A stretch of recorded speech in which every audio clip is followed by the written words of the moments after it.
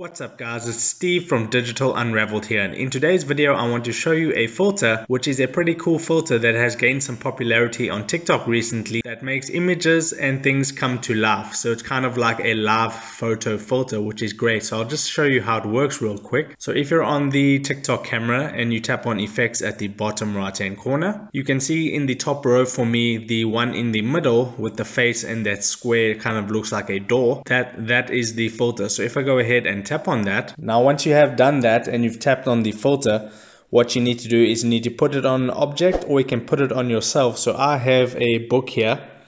So what I've done is I've applied the filter and now you can see it makes the photo like a live photo. It animates the photo which is awesome. So right here we got uh, Steve Jobs coming back to life which is pretty cool. So if you want to go ahead and put it on yourself you can go ahead and do that too. So if I just go ahead and stop talking right now you can see how it will look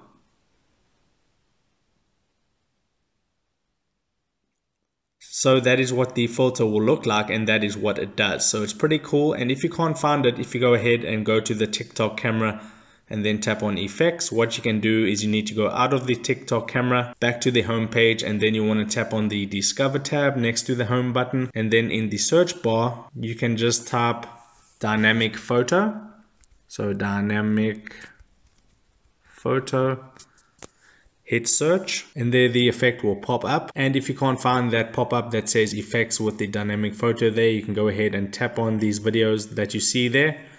And you can see above the person's username it says dynamic photo. You can go ahead and tap on that effect icon at the top of the username. That will take you to the effects page where you can add it to your favorites or you can go ahead and tap the camera button at the bottom to go ahead and use the filter. And there it says try on your face photo so I'll just put it in the frame again and there you can see it's now animating the still image which is pretty awesome. Then you can just go ahead and record